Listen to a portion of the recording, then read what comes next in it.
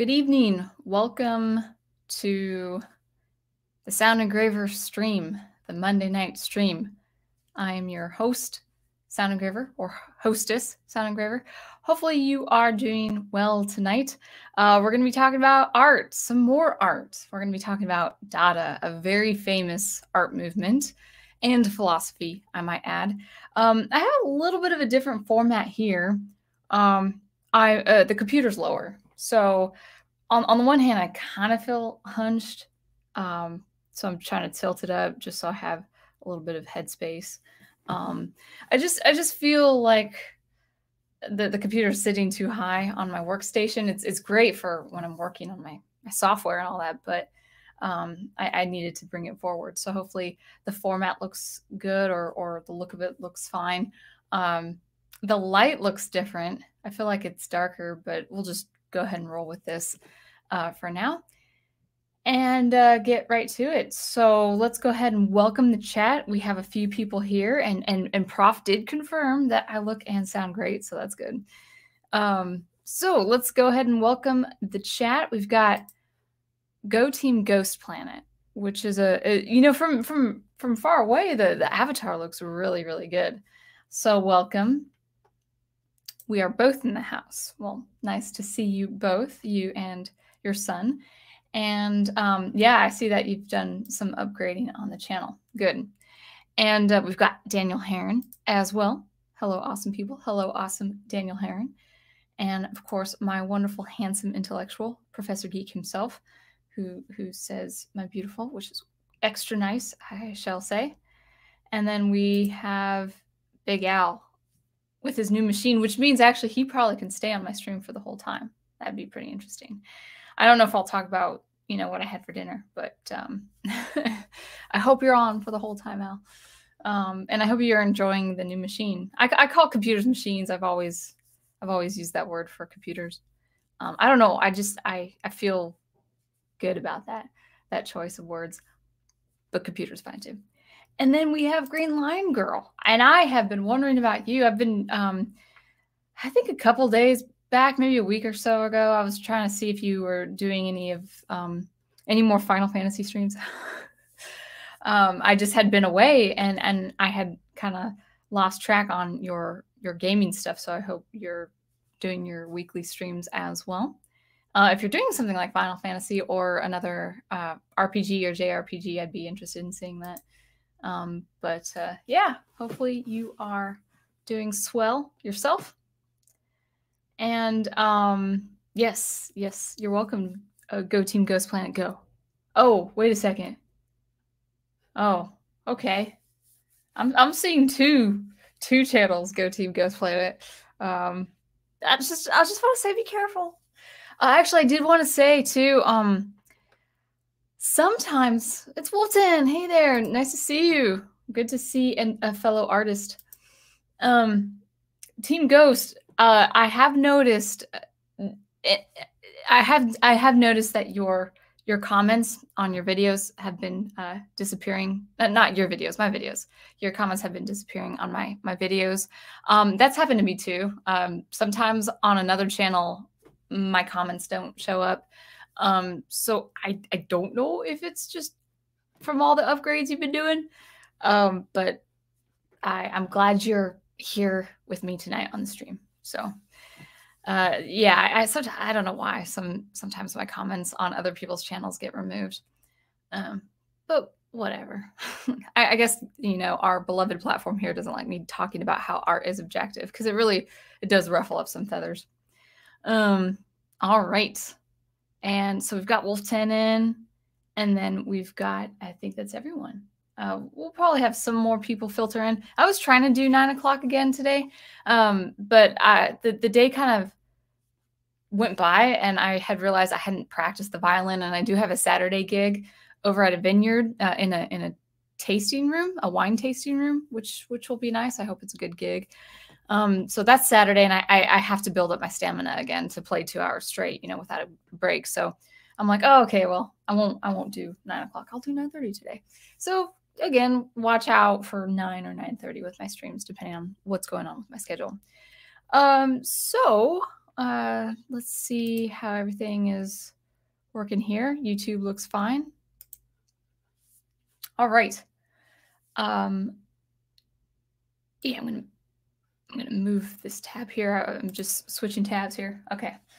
All right. Uh, I think without further ado, we'll just go ahead and and get started talking about the movement Dada. It'll just be an overview talking about the the philosophy behind Dada, maybe just a tiny bit of history, uh, what I had learned in my my music classes as as both an undergrad and graduate student. I really learned about Dada mostly.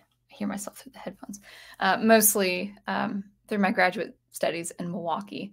Um, so we'll talk about the overview, and there are uh, just a lot of artists um, set in this website I'm about to show you, um, but we're probably going to cover about four or five, at least the four or five that I learned as as a music student. So, you know, if you're an artist, again, always always good to uh, brush up on some art history.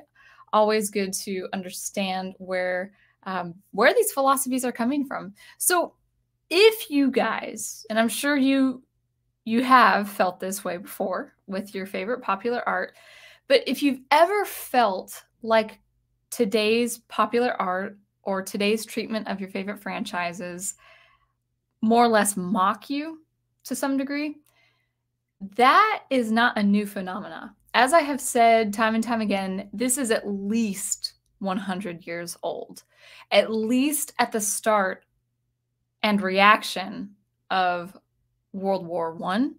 It can, you know, it, it's deb- it's debatable if it's started before World War One, but World War One and the reaction, the, the the social reaction of the First World War is really what has instigated and propagated art that is meant to mock art, art that is meant to mock people art that is meant to mock the the the, the common man or really not even so much the common man in a poor way uh, but more the middle class or the working class. Um, the, the bourgeois, bourgeoisie as as it were um, back in the early 1900s so the the philosophy of mocking art and and being sardonic and and expressing art in a rather cynical and sardonic way as as you know pointing the finger and, and poking fun of people that that's been established you know definitely since world war one uh, and getting into the uh, reaction of the aftermath of world war one and especially you know getting into you know things like the great depression and the modern art times and and getting into postmodernism and and all of that. So the philosophy is there. It's it's it's definitely a huge part of history. So yeah as a recap before i start if if if there's ever been a time in your popular art in in in recent treatment of popular art if there's ever been a time where you you say ah, i feel like they're making fun of me or i feel like they're mocking me. Well that actually not be, my that might not be a, a far-fetched idea.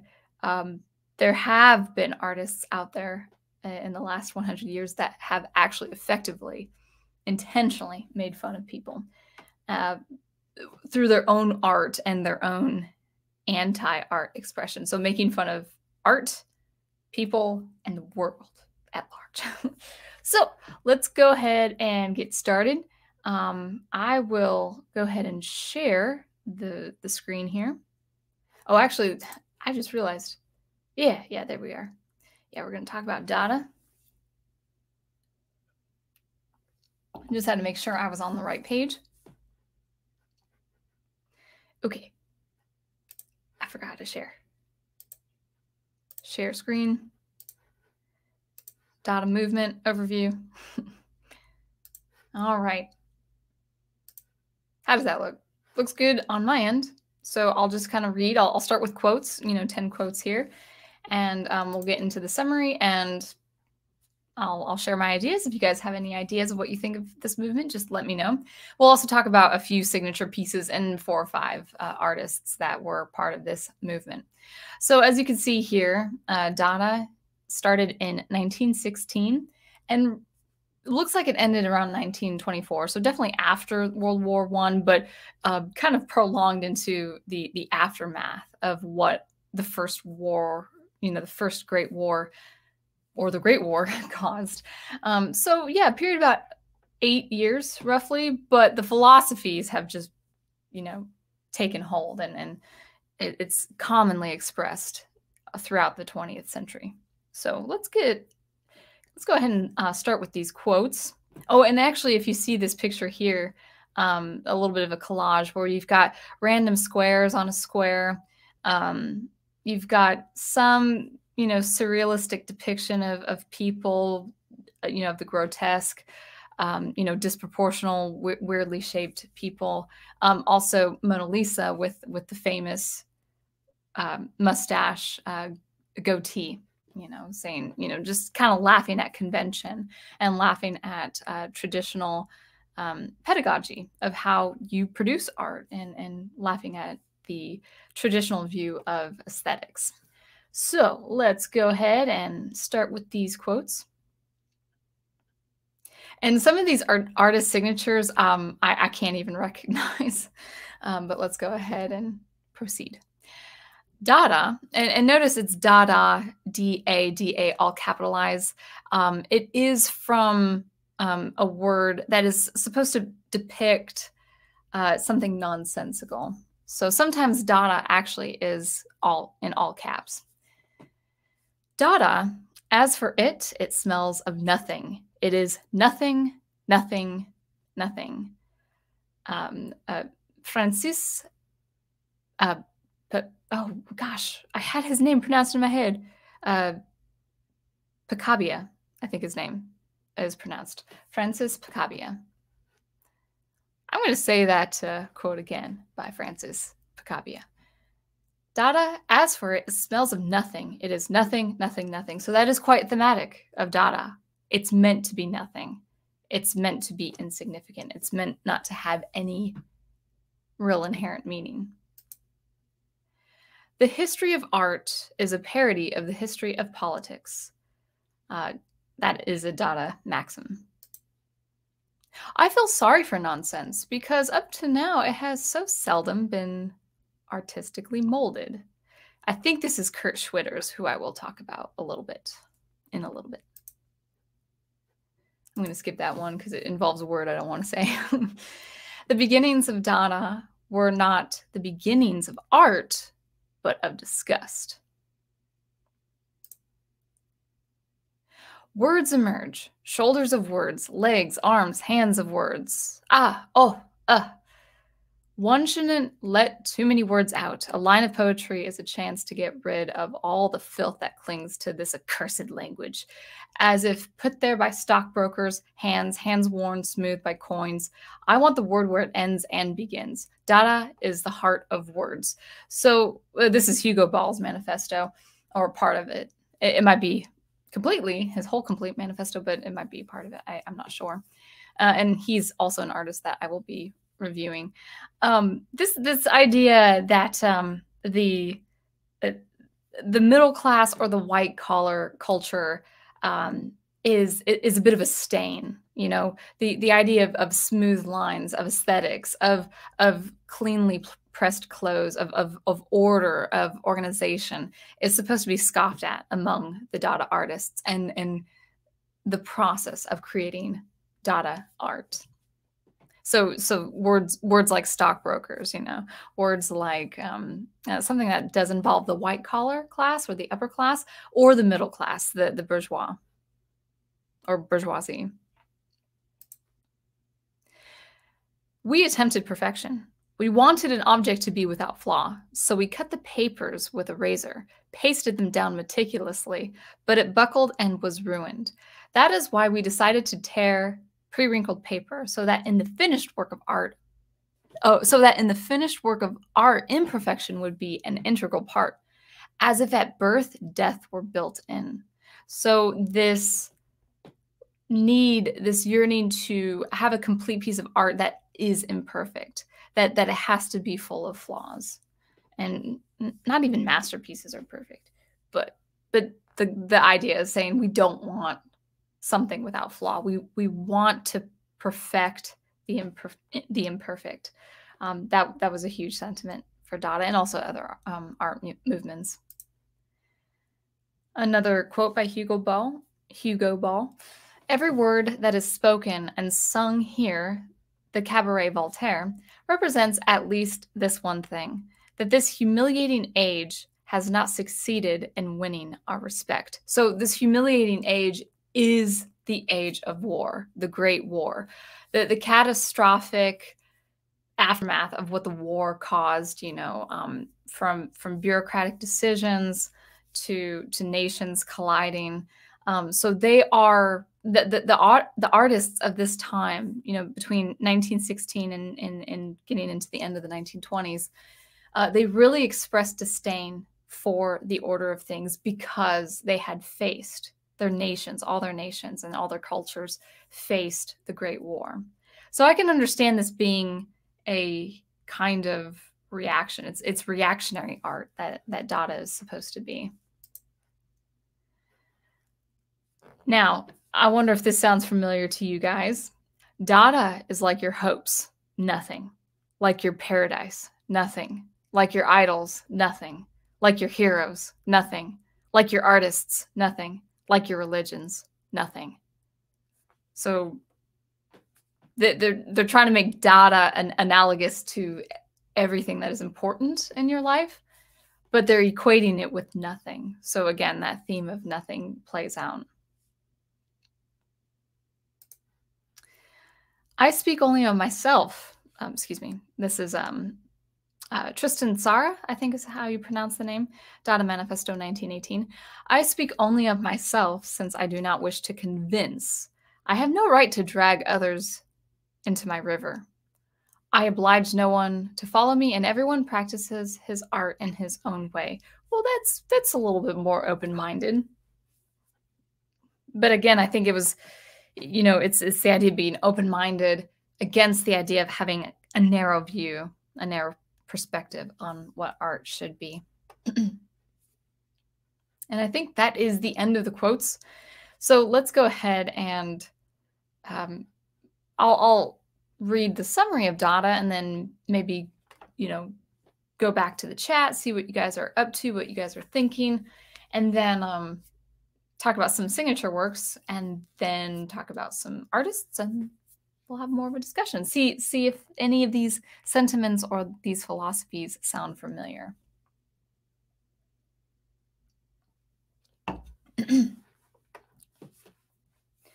Summary of Dada. Dada was an artistic and literary movement that began in Zurich, Switzerland. Zurich, I think is how you pronounce the city. I know it's a popular city. I don't know how to pronounce it. It arose as a reaction to World War I and the nationalism that many thought had led to the war. Influenced by other avant garde movements, Cubism, Futurism, Constructivism, and Expressionism, its output was widely diverse, ranging from performance art to poetry to photography, sculpture, painting, and collage. Dada's aesthetics, marked by its mockery of materialistic and nationalistic attitudes, proved a powerful influence on artists in many cities, including Berlin, Hanover, is that Hanover? I don't know how to pronounce that. Paris, New York, Cologne, all of which generated their own groups. The movement dissipated with the establishment of surrealism, but the ideas it gave rise to, um, but the ideas it gave rise to have become the cornerstones. I don't know if that's let me read that sentence again. Um, the movement dissipated from the established, uh, the, the establishment of surrealism, but the ideas it gave rise to have become the cornerstone of various categories of modern and contemporary art. That was a hard uh, sentence to say.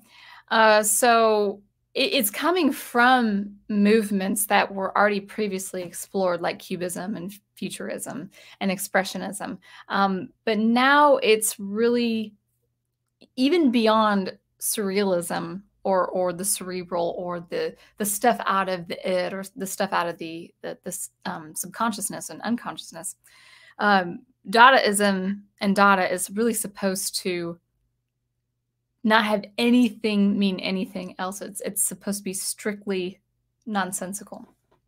Whereas surrealism, I feel like, oh well, that that is very abstract. That is very absurd. But I get it. That could be that could be a part of someone's dream, or I, I get the the color, you know, the the coloring here and the shapes here. I I can understand that, even though that is really uh, abstract or even disturbing. I'll go down to the key ideas and accomplishments, and then I'll go back into the chat.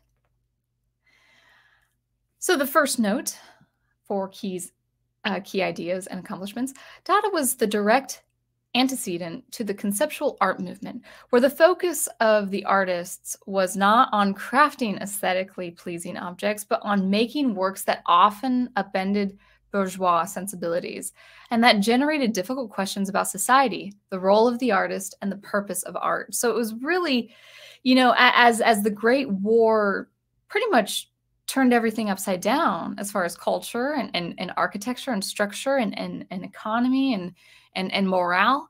Uh, th- this was a reaction through through the artists saying, well, because you know because this war has done this, you know, it, it actually caused a lot of artists to be very very cynical. It's like, well, why don't we express the same way? And you know, in, in the same manner as as the Great War did to society, we're going to use art, kind of like a you know so that something that is analogous to the Great War to to um, put everything topsy turvy, and and to really make people uh, guess what art should be or guess how society should act, and and and generate some um, you know questions on on perspective. Now they I've never lived through a great war. I've never lived through any of the, uh, you know, um, you know, the first two world wars, of course. So I, I don't know what it's like. I, I, can't really blame cynicism on these artists because they they went through the horrors, not me. Now I think I hope under the pressure of a world war, I would hope to turn to what is good and uplifting. I really wouldn't want to poke fun and, and be um, sarcastic and sardonic to beautiful beautiful things like like objects and and inspiring things like like a work of art but that was the the the general reaction of Dada is just to, to poke fun of society, to to really blame society for its materialism and to blame um, bureaucracy and and kind of le- I think they I don't think they separated materialism with bureaucracy, which I, I say is understandable, but I think the two can be separated as well. I'm not saying I'm not I'm not condoning either, but um, but I, but I would say I, materialism is one thing. It, it's it's it's a societal weakness, and bureaucracy is also um, societal weakness that is linked to, you know, the elite or the government. So that's that's the first key uh, idea. Uh, the second is so intent were members of Dada on opposing all norms of bourgeois culture that the group was barely in favor of itself. Dada is anti Dada, they often cried. The group's founding in the Cabaret Voltaire in Zurich was appropriate. The cabaret was named after the 18th century French satirist. Uh, I think that's how you say satire, satirist. Is that how you say that occupation? Voltaire, whose novella Candide mocked the um, uh, idiocies of his society. As Hugo Ball, one of the founders of both the Cabaret and Dada, wrote, "This is our Candide against the times." So it's it's a reaction against the times.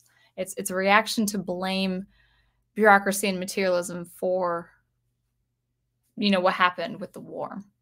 It was it was to shake you. It was to shake society. Third bullet point artists like Hans Arp were intent on incorporating chance into the creation of works of art. We talked about chance music or chance art, aleatoric art before in the previous weeks. This went against all norms of traditional art production, whereby a work was meticulously planned and completed.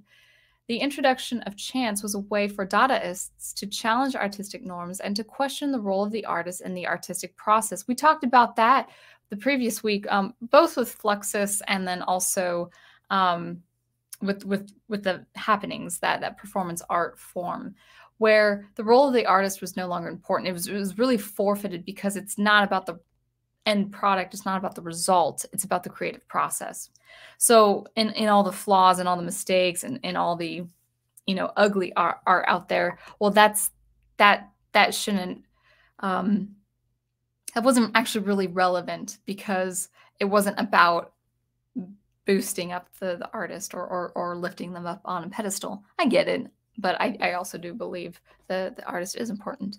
But again, this is the result of reacting to the Great War. So, last point is Dada artists are known for their use of ready-mades, everyday objects that could be brought and presented as art with little manipulation by the artist. The use of the ready made forced questions about artistic creativity and the very definition of art and its purpose in, in society. Now, again, I want to be very mindful because th this mindset, this, this line of thinking was in the 1920s, a very different social climate than what we have now you know, in, in the United States and, and in the Western world, yes, we are facing a lot of social upheaval and we will continue to face it, but not on the catastrophic level uh, of the, the, the two world wars. And so uh, I would say with that, I want to be very mindful with what I'm about to say next. But but this philosophy here, the use of the ready-made forced questions about artistic creativity and the very definition of art and its purpose in society. Um, I, I would just say, as I've said previous weeks, that this is where I would philosophically disagree. Um, I, I don't suppose the forced questions about what artistic creativity is is really necessary at least anymore. I think this all all this philosophy is reactionary. I I still think that artistic creativity is um, is about the process, of course, but it is for the artist, you know, as far as the artist is concerned, their their role is to produce something that inspires society, that um, inspires morale, that inspires legacy, that inspires craftsmanship, that inspires excellence. That is what I do believe the role of the artist should be. And I would remain fixed in my position regardless of what's happening in the outside world. So even if we faced another world war, I would hope that my position uh, and my view on what art is and, and what the artist should do and what the role of the artist is, I, I would hope that that is not changed just because the the world that that the, the circumstance of the world has changed as well. So I want to be very gracious and and saying I, I disagree with this idea like oh we got to force people to think how art should be. And, you know we got to we got to force we got to shake people and and and and and and redefine what art is. Well i'm gonna i want to say that with grace because that mindset can really naturally come from such a catastrophic event like the the first world war. So that's what i have to say about that. Let me stop uh, the screen share for a second and get into the chat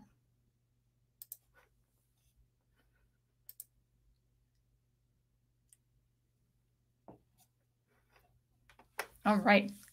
I see a few new people. I see uh, Evie and I see Zetopia. Good to see you. And uh, Dr. Y with his somewhat, yeah, that's a good joke. Dada is the worst parent ever. Yeah, I think I, think your comment. I think you posted a little early, so the comment, your first comment was gone. But it's good to see you, by the way. Um, I think it was like Dada. What about Mama? I was like, I, I haven't seen Mama art.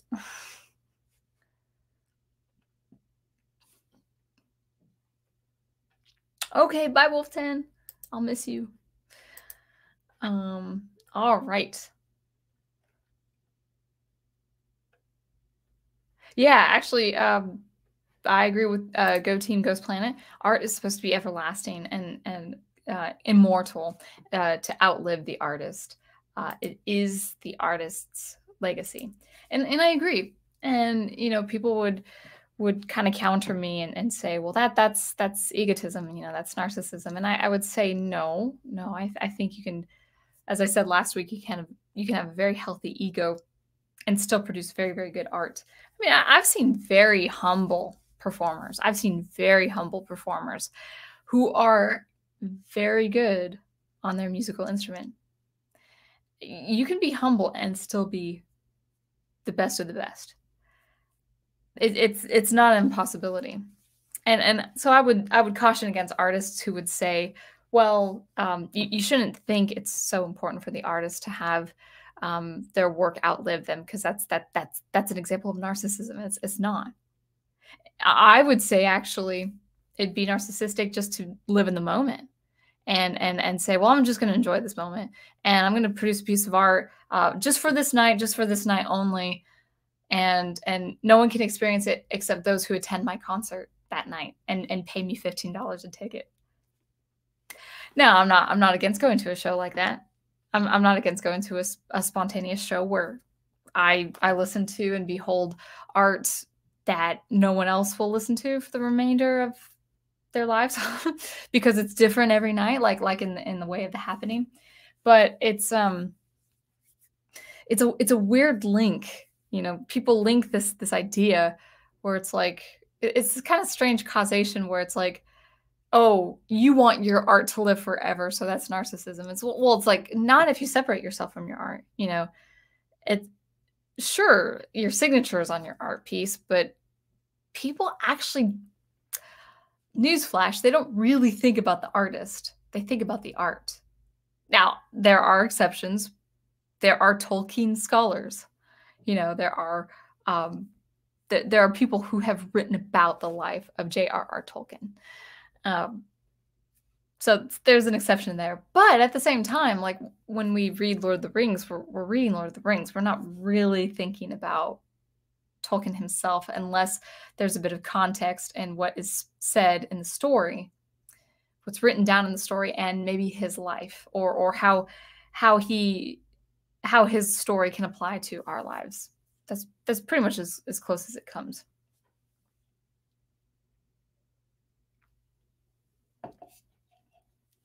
Evie asks a question. Yes, actually, yeah, you ask a question, then you raise a really good point. Um, it is is it possible to make art that is topical and indelible? So when you say topical, are you talking about something that is contemporary, something that is of today, whether it's like a current issue or something? Oh, I think so. I think so. Um, I would say the art that lasts forever is the art that embodies the universal truths. So like um like a sculpture of a, of a famous philosopher. You know, not only is the, the sculpture ar artistically done and, and well crafted, you know, and because it, it's that, it's going it's going to remain for for however long um, you know the the art museum will have it or the cathedral will have it. But you know also it it, it embodies a, a, really good representation of who the previous philosopher was was. So it has kind of like a dual meaning like okay this is this is a very good sculpture of this philosopher and then there is meaning behind um, that this like who was the philosopher? What did this philosopher represent? What did what did they say? What did they argue? And this is not trying to get all political but this is actually why the the removal of statues is not a good thing because it it does embody a representation of of a kind of truth maybe not the whole truth maybe not the whole story but a kind of representation of a person or an idea and also statues are well done. It's kind of a dig. I, I, I you know, I, you know, when people, again, I don't want to be, be, be too political, but I don't think people are seeing the side of, of the story of, of, of statues being torn down on a whim, by the way. Um, they, they see the side of like, oh, that, that rep represents something reprehensible. We got to take it down.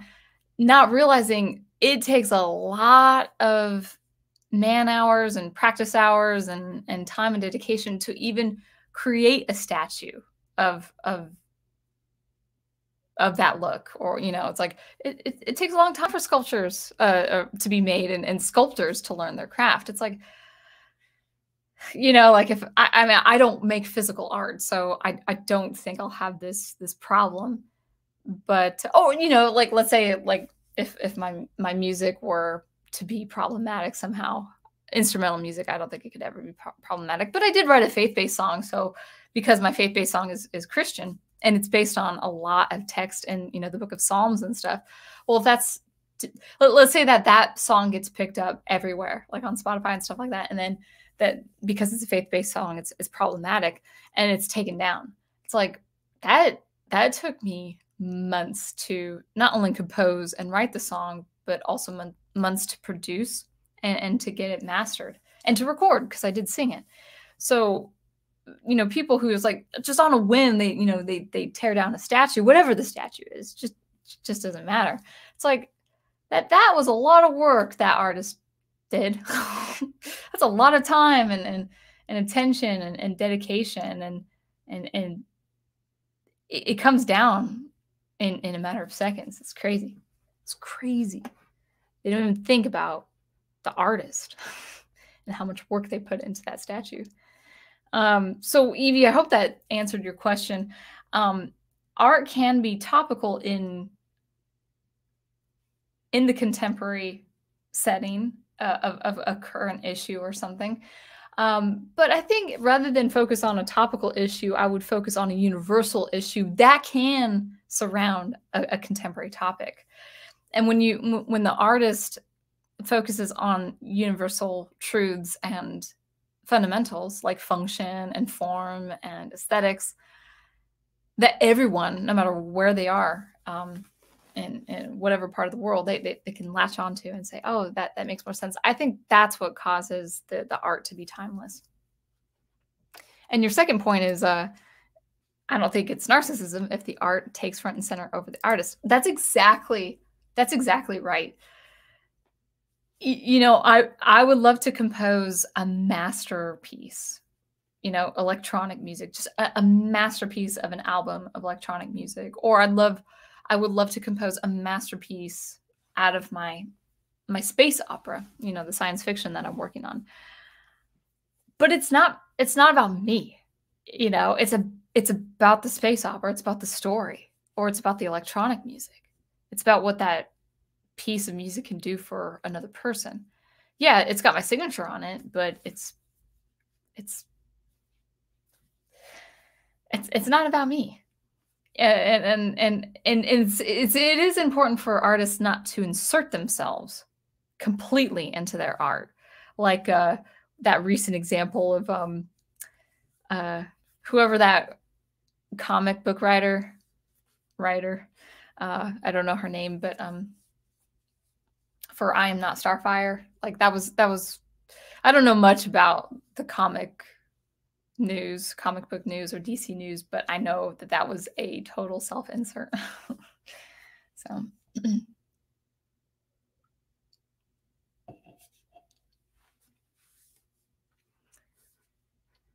All right, a few more uh, reading of the comments, and then we'll go into some signature pieces. Uh, Go Team Ghost, uh, Planet Go says the art of Jack, uh, the King Kirby, uh, Steve uh, Ditko. Oh, oh, Jack Kirby. Oh, Jack the King. Okay, that's that's a reference. Okay, Steve Ditko, Bob Kane, and and um, Bill Finger. I think Jerry Robertson. I don't know these names, so hopefully I'm reading them correctly. And well, I know I know Jack Kirby, uh, and Joe, Jerry and Joe created Superman, and Alex Ross. I think Ross. I think you're meant to say um, are everlasting. Yeah. Yeah, that that Evie said topic as in current. Yeah, topical as in current. Yeah, I, I would I would um my recommendation for artists who want to explore that is to make something analogous to the to the topic at hand.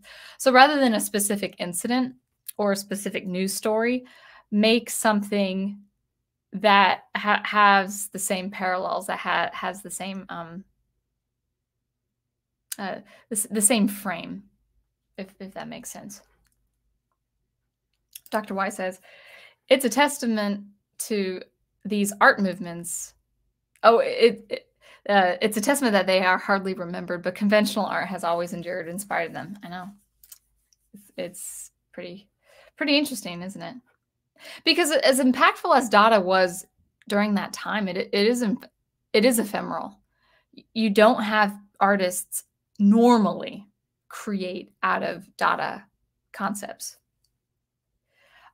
unless unless a certain artist is a professor at a university or the artist is commissioned to do something for an exhibition I can th- those are the two scenarios where I think you know Dada would have that influence in in contemporary art today.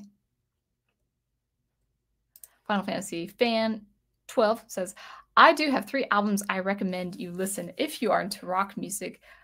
I'm sort of into rock music, depends on the, the rock style.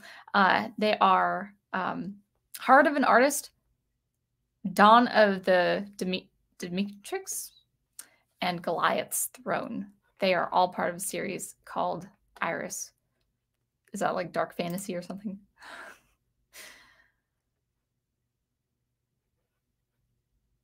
Oh, Alex. Oh, okay. Alex Toth created Space Ghost. Okay, is that is that true? Let me. I got. I got to look that up, and then we'll go back to the art because I, I don't want to get too off, too off topic. Okay, I can't. I can't find him right now. Um. Yeah, that's okay. That's okay. All right, and then Evie. We'll, we'll conclude with Evie before I get back into the screen share. Uh, so it would need to be a universal truth found in that current topic that an art piece might show. I understand. Thanks for answering. I hope so. Yeah, I'm glad. I, I'm, I'm glad that that um, clears things up for you. Awesome. All right. Let's go ahead and look at some signature pieces. So I'm going to go ahead and share. Let me make sure I'm on the right page. Yeah, actually, I'm, I'm still on the right page.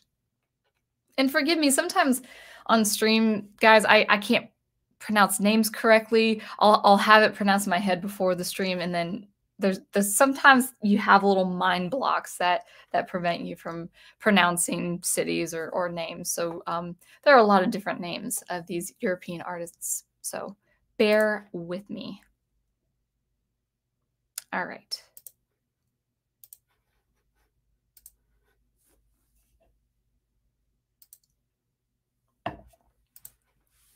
All right. Looking good? Looking good. All right. Important art and artists of Dada. And these are just three, I believe. Uh, ici, c'est Stieglitz. Here, this is Stieglitz, 1915. Artist by the name of Francis Picabia, I think is how you pronounce his surname. Picabia was a French artist who embraced the many ideas of Dadaism and defined some himself. He very much enjoyed going against convention and redefining himself to work in, a, in new ways a number of times over a career that spanned over 45 years.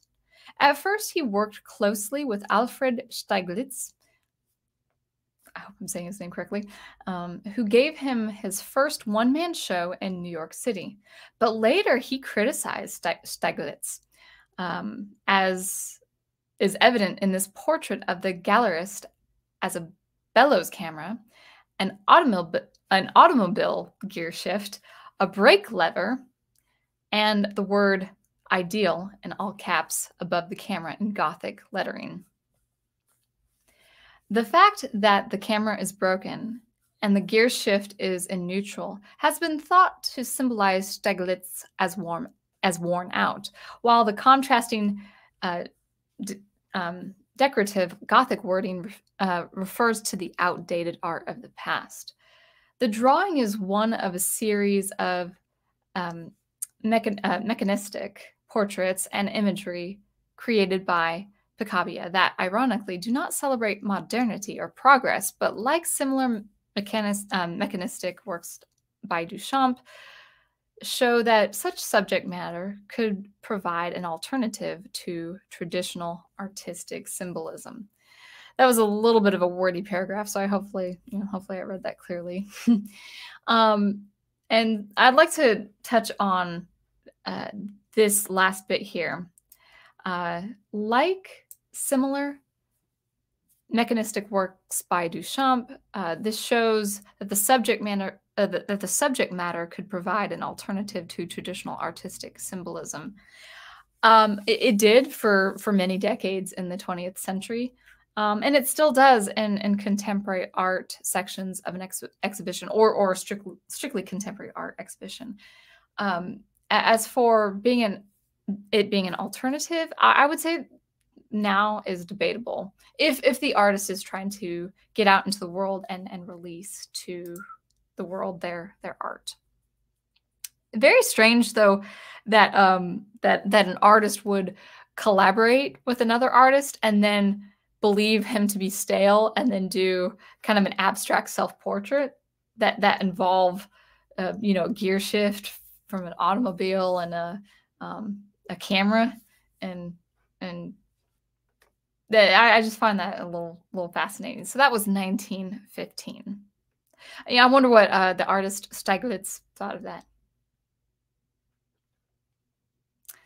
all right this is a pretty important one um, reciting the sound poem Karawani, or it's either Karawani or Karawane. And I did learn this uh, in graduate studies. Uh, this was composed in 1916 by the artist Hugo Ball. And you can see this image here. And, and actually, it will be described in this paragraph here. Um, and that was also my uh, thumbnail, uh, where th this man here is, is dressed somewhat uh, absurdly. So let's go ahead and, and read about this piece by Hugo Ball. Ball designed this costume for his performance of the sound poem Karawani, in which nonsensical syllables uttered in patterns created rhythm and emotion, but nothing resembling any known language. The resulting lack of sense was meant to reference the inability of European powers to solve their diplomatic problems through the use of rational discussion, thus leading to World War I. So, again, a reactionary art piece. Equating the political situation to the biblical episode of the Tower of Babel. Ball's strange costume is meant to further distance him from his audience and his everyday surroundings, making his speech even more foreign and exotic. Ball described his costume. My legs were in a cylinder of shiny blue cardboard, which came up to my hips so that I looked like an obelisk. Over it, I wore a huge coat cut out of cardboard, scarlet, scarlet on the inside and gold on the outside. It was fastened at the neck in such a way that I could give the impression of wing like movement by raising and lowering my elbows.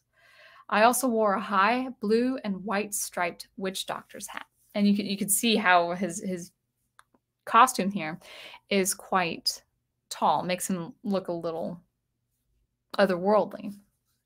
Now, a sound poem is um, a poem that is all about the sound, not syntax, not semantics, not the meaning of the word. Um, it's all about the phonemes. It's all about the, the the the construction of a word, or maybe the permutation of of, of the different letters and you know vowels and and the the phonemes there. Uh, so it, it was all about how things sounded, and it was supposed to represent the the nonsensical, the things that don't make sense, the things that don't have any inherent meaning. And it, it's very fascinating that this was the reaction, his reaction um, he, he wanted to display what he believed was bureaucratic discussion and, and political discussion. And um, I mean, I, I kind of think that, that that, that could be reenacted uh, in these times. Maybe not so much with uh, the the elites in the government. Maybe, maybe I don't know. I would say more so probably with uh, with media with with the elite media that we have today. Um, so I, I find that pretty interesting. And actually, sound poems are pretty fascinating. I did a, I looked over a lot of sound poems as as a vocalist. I, I used my voice as a graduate student instead of my violin because I did have my violin stolen at the last year of my undergrad, and so I didn't have a violin for two years. I was actually without playing or practicing for two years, and um, so my primary instrument during that time was was my voice and so I, I did explore a lot of uh, sound poetry. Um, Jaap Blonk is is living and famous, and I I bought a book of his of his sound poetry for like sixty dollars. They told me he was like, "Oh, you should buy it. This is a once in a lifetime opportunity." And he he's visited and and he's not that famous. I mean, he's sort of famous. Um, his book was sixty dollars. I think I lost it too and it was it was about the the guttural and the and the syllabic um, um, syllabic, uh, you know, with syllables, but it was also about um, mouth sounds and saliva. You know, it was supposed to be gross sounding, like his tone poetry, not the tone poetry, um, his uh, uh, sound poems rather, uh, were supposed to be really just nothing but you know mouth sounds and moving the mouth in kind of grotesque unconventional ways. Really strange. He would be a good contemporary example of dada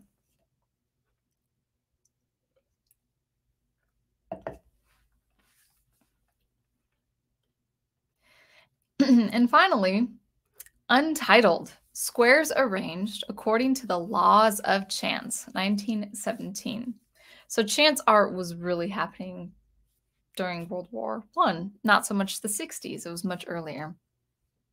The artist is Hans Arp. Hans Arp made a series of collages based on chance where he would stand above a sheet of paper, dropping squares of contrasting colored paper on the larger sheet's surface and then gluing the squares wherever they fell onto the page. The resulting arrangement could then provoke a more visceral reaction, like the fortune telling from I Ching coins that interested ARP, and perhaps provide a further creative spur. Apparently, this technique arose when ARP became frustrated by the attempts to compose a more formal uh, to compose more formal geometric arrangements. ARP's chance collages have come to represent Dada's aim to be anti-art, and their interest in accident as a way uh, to challenge traditional art production techniques. The lack of artistic control represented in this work would also become a defining element of surrealism. Excuse me, as that group tried to find paths into the unconscious whereby intellectual control on cre creativity was undermined. So again, this is this is the sentiment. This is the general sentiment of this movement. It was the general sen sentiment of Fluxus, where you needed to re- relinquish creative control. It wasn't about you. It wasn't about how good you were. It wasn't about how excellent your art could be. It was about going to the the subliminal. It was about going to your id, you know, that that that unconscious. It was supposed to it was supposed to just be a stream of consciousness and and and random happenstances, you know. Um again, I I would say well, I mean that's it's interesting. Um, you know, it, it's it's an interesting idea. It's interesting in theory, but I would say, as as you guys have been pointing out in the stream, that that that the art that is preserved is the art that is done well. And relinquishing control is a very important trait. It's a very important parameter uh, it's it's a it's an important parameter to put in your creative process, especially as me as a composer working in in, in, in a software like SuperCollider. I I really do leave things to chance or or leave things to the unknown, but with my sounds I draw from SuperCollider, I'm also selective in what I keep. I'm also selective in what I put in my my digital audio workstation. So after I'm done creating sounds in SuperCollider, then I'll just put it in Logic and, and, and see what happens there. And then I work with what they would say conventional technique. I, I do compose the, the, the conventional ideas like harmony and bass and melodic lines and percussion, rhythm, and all that. So I I I don't I, I will like to say that I, I I don't ignore chance completely. I do love indeterministic composing but i'm also selective in the output. I'm, I'm also selective in the result. I, I do not relinquish my creative control. One reason i don't is because it takes years to master this kind of intuition not intuition um, uh, invention uh, method i would say you know the your practice as an artist it takes years to get a process down to begin with. So to leave it to chance and to leave it without any intellectualism, I would say, well, I, I could have done that before studying all these years. I could have done that without paying $40,000 for my education. I, I, could have done that without any teaching. It, it's kind of amazing that the professors really do encourage this um, withdraw, uh, withdrawal from intellectualism. It's like, well, but I could have done that without going to school. I could have done that without paying you guys for your tenured positions, you know. um, I don't say that like eh, with any resentment, it, but I do find that curious that that that's really what's encouraged by uh, professors. Now, I would say yes, I love incorporating chance in my in my music, but that's the the chance is not the result. Uh, the chance does. Um, let, let, me, let me rephrase that. The chance is built in the the creative process, and then I am selective, and I do control what is the output, the final product in my music. So, so so that that's an interesting um, uh, sentiment, you know, regarding artists like Hans Arp to to do uh, chance work or aleatoric work because they they want to break the convention of what art is. It, but just this antithesis or, or just this um, antipathy toward uh, the intellect or or the cerebral or the the years of practices is very fascinating. But I think again, it, it stems from this is the result of bureaucracy. This is the result of um, failed diplomacy. This is the result of a, a, a, war that has just been unleashed on this world. So I, I get it. I, I, get that this is the the reaction. All right, let's get back into the chat and then um, talk about maybe four or five artists, and then we'll then we'll uh, uh go and you know wrap wrap things up here.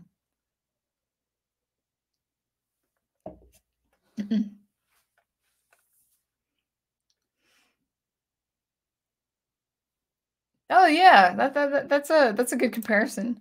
He looks like a space alien priest. He kind of looks like uh that that picture reminds me of something from Outer Limits, you know, that old science fiction show. Um that's that's what that reminds me of. Evie says, That's terrible. It must have been really hard to be without your violin. Don't know what I'd do if I uh, had nothing to draw or paint with. It, it was actually a pretty uh, tragic story. Um, I I was being careless. Someone someone knew where I kept my violin and they they broke right in. Uh, unless unless they just picked randomly these locked locations. But I think someone knew I had stashed um, my my my violin in a in it was really a locker. I should have just kept my violin the whole time. I, I that was a really irresponsible thing for me to do as a college student, not have my violin with me. But but most college students, at least at the music school, they just they just kept their they they kept their um, instruments in, in these lockers, and, and and the cellos and and you know the trombones and and and the trumpets. I think they had nicer lockers, and I should have just had a more secure locker. Um, but yeah, it was taken. Um, I, I saw the the the the the manipulating and and um, unlocking the, the the the latch of the the lock. Um, and I I called all you know all the pawn shops. I even called the police, and and it was tragic because actually that was my that was the first violin I owned. You know, my mom bought it. My mom bought it for me the day my grandfather died. So it was it was really meaningful violin to me because it was I think my grandfather died when I was 13 and I got I got that violin my, my first violin to have not to rent but to have. And it was actually to this day it's it's my most expensive. Um I mean it's under 3000 but I, I have not had a violin above 2500 appraised.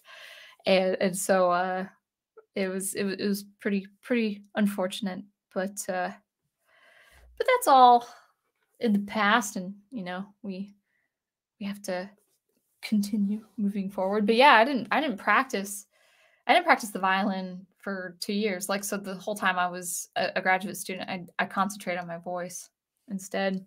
But then in little rock i, I got a i got a violin and um and loved it and it has a crack on it now so i have another violin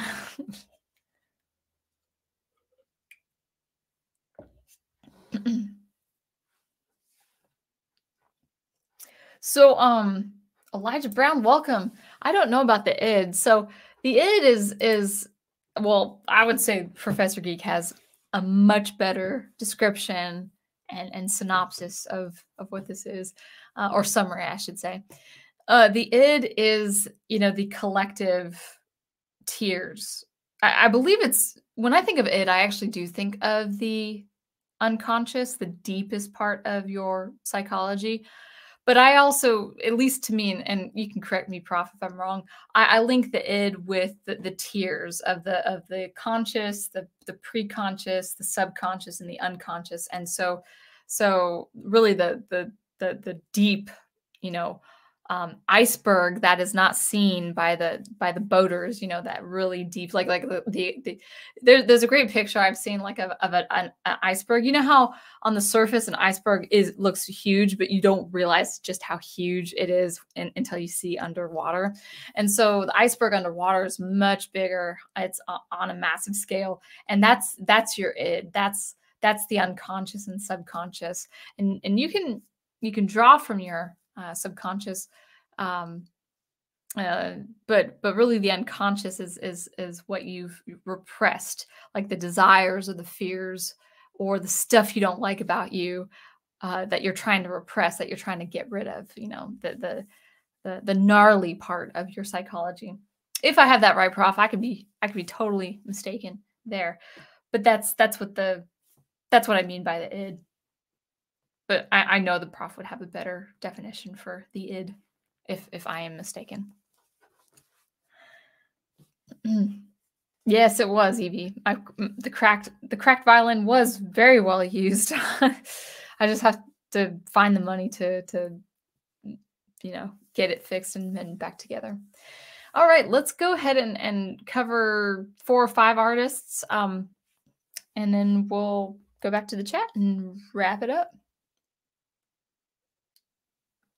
So hopefully this is somewhat insightful for you artists.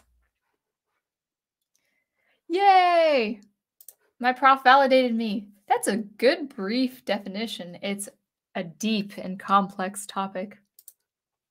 I find that kind of thing so, so fascinating. All right, let's talk about some artists. I will go um, I will go ahead and switch my pages here. oh, that's not what I wanted. I need to go back to the, the Dada movement page. There we are. Okay.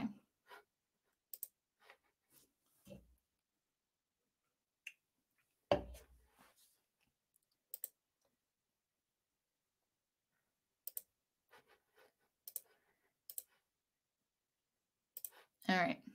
See that again? Yes, we do. Okay, so here on the right-hand margin, you see the key artists of the Dada movement. Um, and actually, you can see more here. And I'll just go ahead and, and click View All. Um, you know, again, the artstory.org is, is looks like a really good reference of, of timelines and concepts and synopses of certain philosophies and, and elements here, um, including artists and, and their works. Um, so we'll start with, um, actually, I kind of want to start with Mar Marcel Duchamp and then maybe Francis um, uh, Picabia.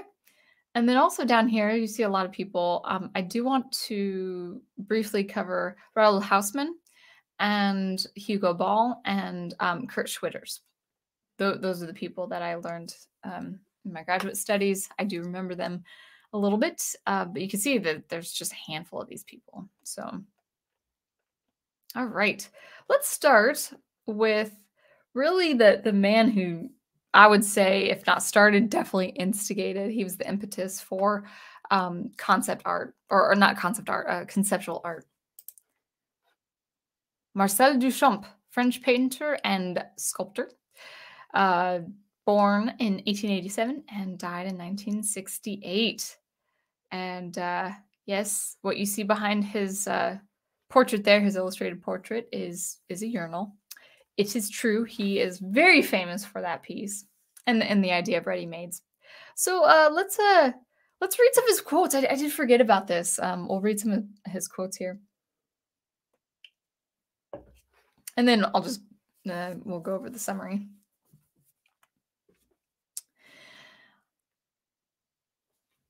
I don't necessarily endorse the, the, the opinions of Duchamp. You cannot define, he says, you cannot define electricity. The same can be said of art. It is a kind of inner current in a human being, or something which needs no definition. I would say, well, no, you actually can define electricity. I'm no scientist. I'm no electric electrician, um, but we have a lot of science um, and elements of causation that causes electricity. So yes, you can define electricity. You can define its form and you can define its function.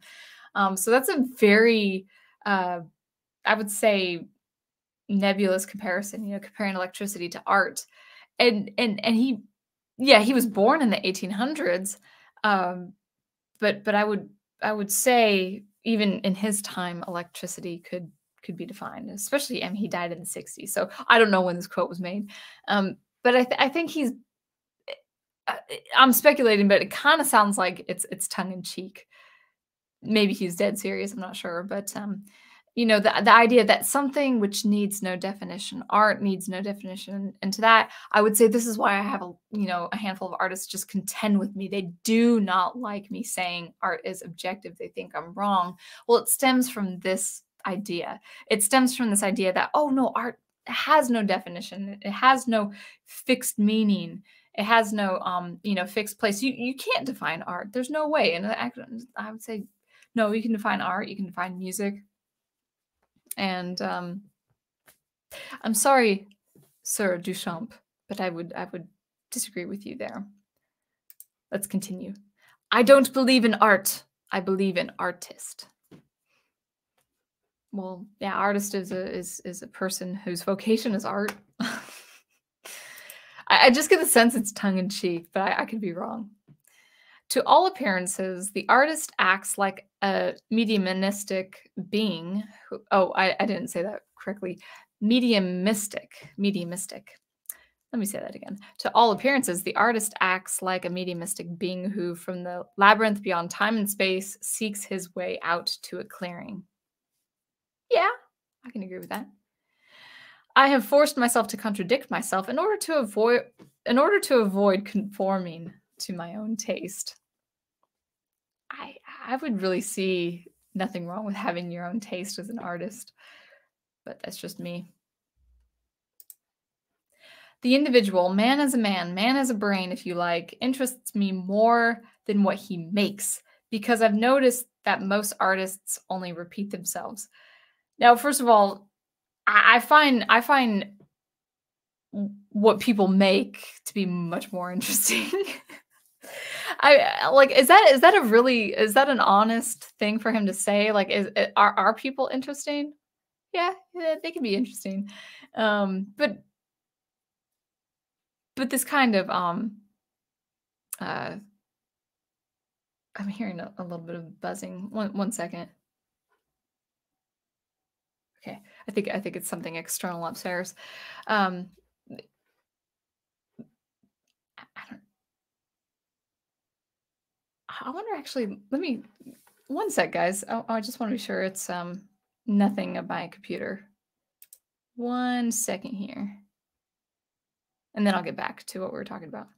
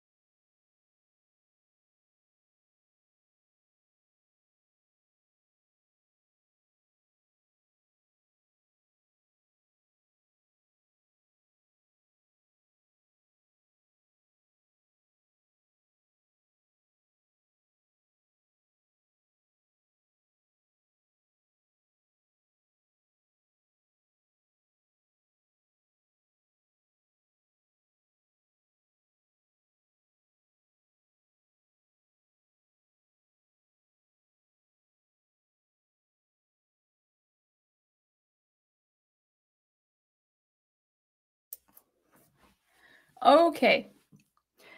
Uh, so uh, let me let me stop the the screen share for a second. Um, thanks, guys, for waiting. Um, a little strange, but uh, I, I thought uh, at first I'm hearing this really kind of flute like whistle, and I think it might have to do with the my, my fridge, you know, of course, in the kitchen. But I, I, was I was almost freaking out because I I thought for a second I had tinnitus, like like it, I, I, felt like it was internal, like it was going in my head. I was like, what was you know coming from? Because it was it was coming from every you know room of my place. It's like maybe this is in my head. Um, so it's actually it is external. So I'm um, not quite sure what might be the the the little noise for. It might be uh, might be a sign of a, a bad compressor. I hope not. um, but uh, I- am good. I don't have tinnitus, so that's good. So let's go back. Let's go back to what we were talking about. Um, we were we were quoting Mar- Marcel Duchamp. Thanks, guys, for waiting uh, on that. Uh, so we'll we'll cover a few artists, and then we'll um we'll go back into to that. So yeah, let me share again, and then then we'll go back to the chat. A little little little discombobulated right now.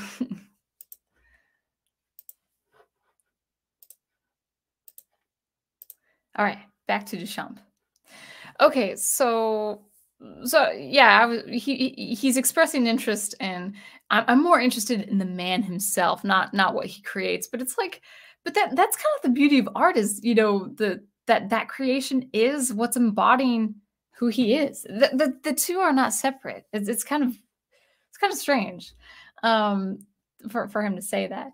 Um, and but his reason is because I've noticed that artists only repeat themselves and it's like you know yes i do support the experimental i do support um uh i i do support people pushing their boundaries their their artistic boundaries that that just makes their art and their artistic journey all the more engaging all the more interesting so i i, understand that from from from his pers- his perspective there but it's it's I always feel like these contemporary these these artists of the 20th century were always nitpicking like they were so psychoanalytical. It's like well it's, it's really it's really a separation of this. It's like actually the the the two you know the the, the man and his art they're they're, they're a part of each other. There's no there's no distinction. So anyway that, that's just me. But um, we'll continue Um, I don't remember actually reading this um, beforehand, so let's have fun. Art is paradoxical. It is it's almost schizophrenic. On one side, I worked from a very intellectual form of activity, and on the other side, de deifying everything by more materialistic thoughts. Yeah, I mean, I, again, there's kind of this antithesis toward the deification of art, but I wouldn't I wouldn't have art be my idol either, but you know, I, I could understand this to to some extent. When I discovered ready-mades, I thought to discourage uh, I thought to discourage aesthetics. In Neo-Dada, they have taken my ready-mades and found aesthetic beauty in them. I threw the bottle rack and the urinal into their faces as a challenge, and now they admire them for their aesthetic beauty. That's funny. That I, I find that funny. Um, yeah, no, like that, that's the frustration of some of these artists where it's like, no, no, you're not supposed to think of these as art. You're not supposed to think of this as beautiful. And and people actually do. I've I've seen this firsthand where where where an artist is they their intent is to make something so ugly or so out of the norm and then people like you'll see people cry because they think it's such a beautiful experience and it's and, and I can understand the frustration of those those contemporary artists. Like, no, you're not supposed to be moved. Uh, so, uh, the idea of repeating for me is a form. Oh yeah, we're not going to read that. I haven't read these uh, uh, ahead of time. Uh, I probably should have. um, let's see. Okay.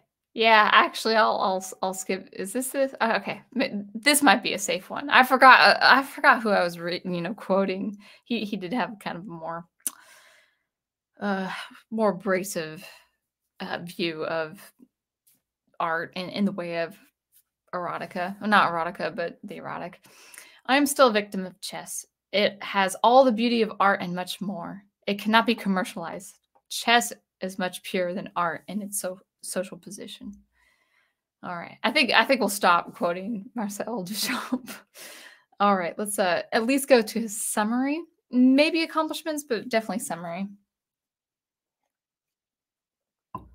Few artists can boast of having changed the course of art history in the way that Marcel Duchamp did.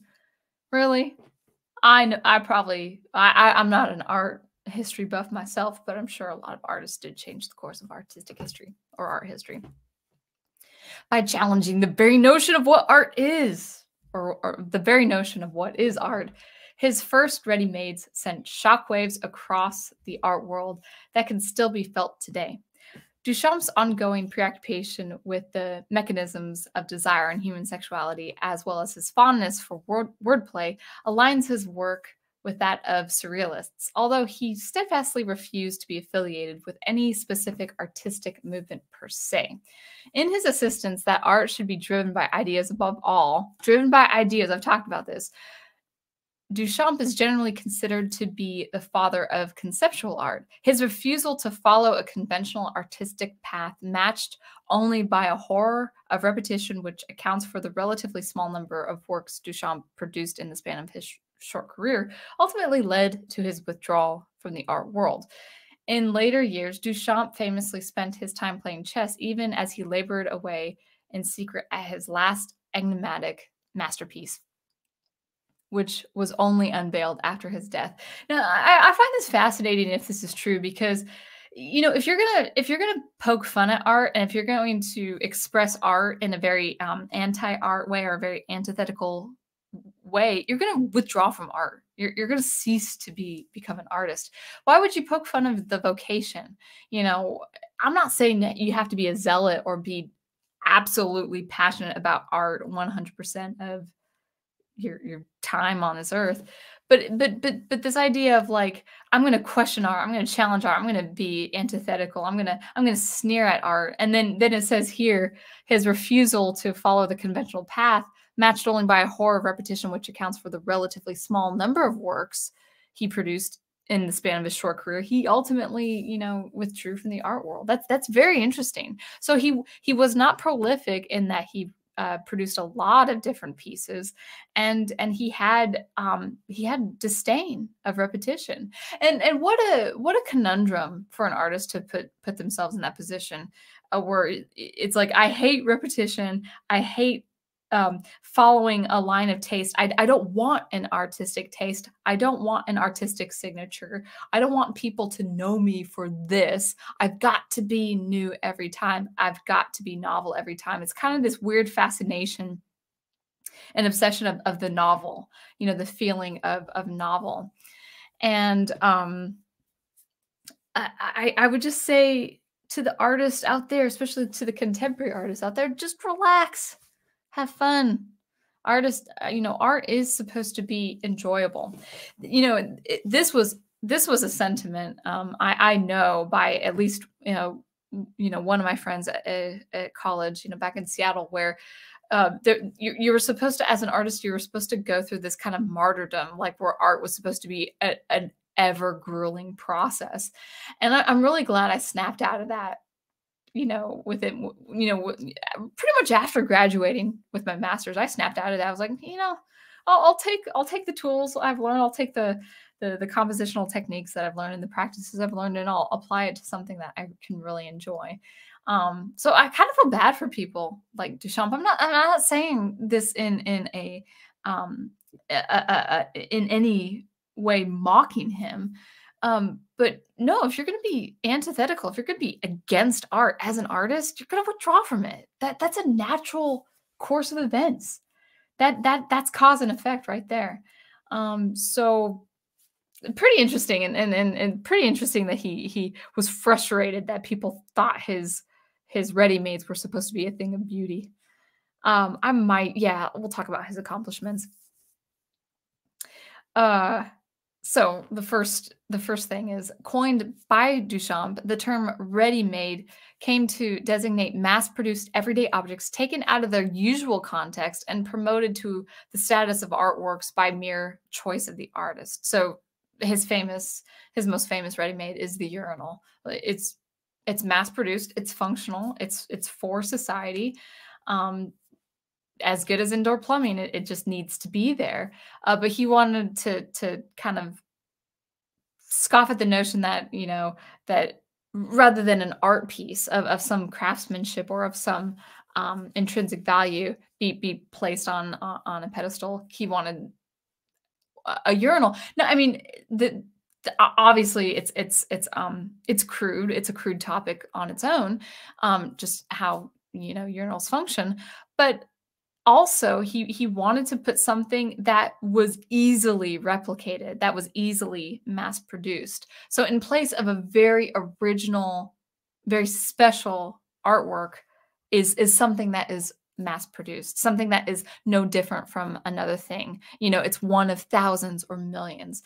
Concept is very interesting um but again it's it's kind of that um kind of sinister idea of um, I think it's kind of sinister. It's like where I was like, ah, well, I don't like art. So therefore, I'm going to make this my art piece. Uh, second point is Duchamp rejected purely visual or what he dubbed um, retinal pleasure, deeming it to be facile, in favor of the more intellectual, concept driven approaches to art making and, for that matter, viewing. He remained committed, however, to study the per, uh, perspective and optics, which underpins his experiments with kinetic devices, reflecting an ongoing concern with the representation of motion in machines common to futurist and surrealist artists at the time. I find this good. I mean, I, I think I think art should be intellectual. And I think it should be concept driven. I do think it should be concept driven, but the concept, the idea took precedence. It, it, took precedence over the art piece itself. Whereas I say, no, have it be concept driven, have it be a great idea, but it must be executed well and and i think if you have that you have your long lasting art piece. All right i think um yeah i think that that'll be it for duchamp. Um and we are actually kind of going um well we're, we're sort of getting to the 90 minute mark so um let's i do want to read a couple more. Maybe if, if just quotes and summaries so let's get into uh, the biography of Francis Picabia, a French designer, uh, illustrator, painter, and writer. Uh, born 1879, died in 1953. Artists, so they say, make fun of the bourgeoisie. Me, I make fun of the bourgeoisie and the artists. So it's kind of like he he he's mocking the mocker by by by just uh, only doubling down on mockery. New York is the cubist, the futurist city. It expresses in its architecture its life, its spirit, the modern thought. What I like, uh, what I like is to invent, to imagine, to make myself at every moment a new man, and then to forget him, to forget everything. so it's like, yeah, let, let's let's accomplish all of this, and then just throw it by the wayside and and and say it means nothing. Because it's very fascinating right? It's a it's a very fascinating concept. Each artist is a mold. I aspire to be many. One day i'd like to write on the wall of my house artists in all genres. It's very strange like he he he wants to re, you know reduce the artist to nothing but at the same time he wants to be all kinds of artists as well. The world is divided into two categories failures and unknowns that, that's a very myopic view of the world. But again, it's it's a reaction to the Great War. Only useless things are indispensable. I, I I can see that, but I have to think a little bit more deeply before I agree. If you want to have clean ideas, change them as often as you change your shirt. Um, uh, Picabia's career is a kaleidoscope series of art experiences. So I'll just read his summary. Uh, once known as Papa Dada, Francis Picabia is one of the principal figures of the Dada movement both in Paris and New York. A friend and associate of Marcel Duchamp, Uh, he became known for a rich variety of work, ranging from strange, comic, erotic images of machine parts to text based paintings that foreshadow aspects of conceptual art. Even Dada even after Dada had been supplanted by other styles, the French painter and writer went on to explore a diverse and almost incoherent mix of styles. Well, that makes sense if it's diverse and incoherent. he shifted easily from uh, uh, he shifted easily between abstraction and figuration at a time when artists clung steadfastly to one approach, and his gleeful disregard for convention of modern art encouraged some remarkable in- innovations even later in his career, from the layered uh, transparency series of the 1920s to the kitsch erotic nudes of the early 1940s. Picabia remained revered by contemporary painters as one of the century's most intriguing and inscrutable artists. So, um, yeah, again, the idea of um, really having disdain for artists who stick to one taste or or one approach, and and to that I say, okay, if you don't if you don't like it, don't do it, but don't have disdain for it. You know, well, what's what's with this you know disdain?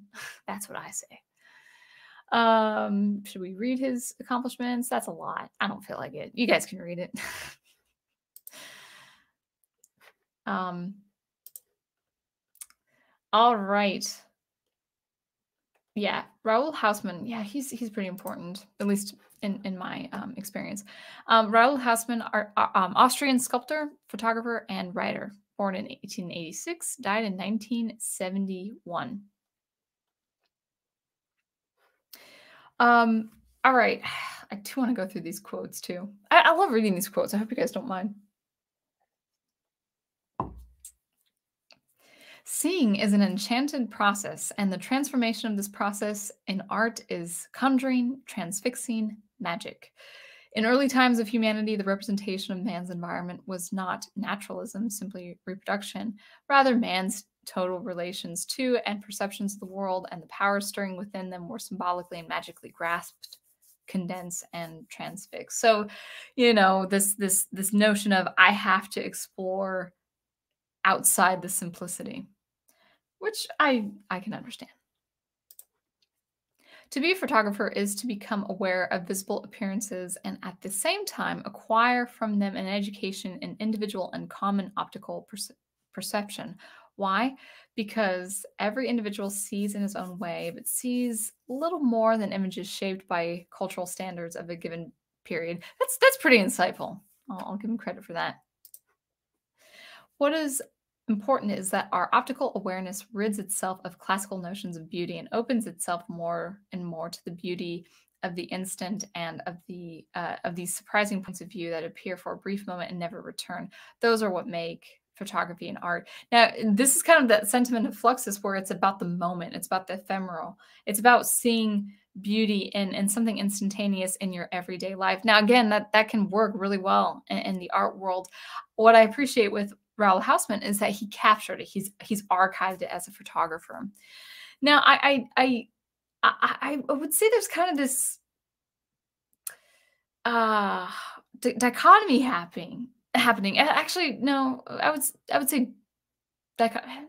I'll, I'll say juxtaposition where, you know, on the one hand, there's this disdain for beauty among these movements but then on the other hand there's this this need to expand beauty it's like well i don't like i don't like the beautiful oh no no no we got to actually make the beautiful have um, a different meaning we have to expand the meaning of beauty it's a it's a very strange thing it's like well if you embrace the ugly but but also know that there are definitive lines of what beauty is oh this looks I might skip this. I just want to read the shorter quotes. It is no longer possible to construct phonetic poetry in classical typography according to the rules of symmetry. This was a necessary step which had to accompany uh, the, the, the, conception of noise, uh, emanations of unregulated tones, which no longer submitted to the well-tempered clavier. Uh, asymmetry, asymmetry was an un, un, unavoidable uh, consequence. So what he's talking about is um, um, printed poems that really do elevate the sound, the the structure of the word, the sound of the word, what it's supposed to sound like, uh, bits of words, um, kind of the obliteration of words, and and the deconstruction of uh, you know vowels and not not not um, I mean I meant to say deconstruction of words in in phonemes. You know how how words are constructed in phonemes and syllables, and he was very famous to to as a photographer, an illustrator to to have that um, um, topography where or, or yeah topography where he is showing these um interesting uh these pictures of sounds. Now I wonder if I, I didn't check out. Yeah, this was this was a famous one. Uh, this one right here. Um, it's it's just printed. L- let me read this one. This this is pretty um, important of him and Kurt Schwitters. I probably won't go into his um, accomplishments, but this one right here. Um, I don't know if it's titled BBBB or b b b. Um, but it's it's all to do with his phonetic poetry. So Hausmann's phonetic poetry was designed to be read and performed, featuring letters and punctuation marks in an arrangement that forms a picture rather than a poem. So the letters and punctuation marks are are for forming the picture itself, not a poem to be uh, semantic or or to have um, any grammatical syntax or prose rather. Um, his formations that do not create words or sentences, but which still might be spoken or uttered, resemble rather small insects crawling in different directions and in different formations across the white page. The letters are not arbitrarily placed, however, there is a vague meandering uh, shape that leads our eyes ultimately down to the horizontal line of letters at the bottom of the page. Oh no, oh, oh, oh, oh, oh, ooh, mm. So actually, that that that before reading on, um, the phonetic poetry actually really helped my own contemporary idea, um, contemporary practice of extended technique for voice. So where you go like that, you know, just that would be part of your performance. The interplay between text and sounds opens up the opportunity for uh, a synesthetic experience if one sees them in an innate rhythm. Totally totally plausible there. The phonetic poem also prompts the more meditative viewer and reader uh, to consider the nature of semantics and the arbitrary relationship between words and their meanings or lack of. Now, I, I don't philosophically agree with the deconstruction of meanings and, and words. I do I know it's often contended with, but I do believe that words have definitive meaning. They have fixed meaning. But in terms of interesting and engaging performances, yeah, the, the breaking down of phonemes and syllables and, and punctuation is, is quite engaging as a performer. So that that's one of it. He, he's also done a lot of um, other interesting, visually interesting pieces. Okay.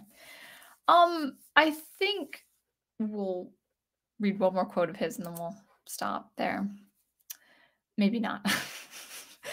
um, naive anthrop- anthropomorphism has played out its role.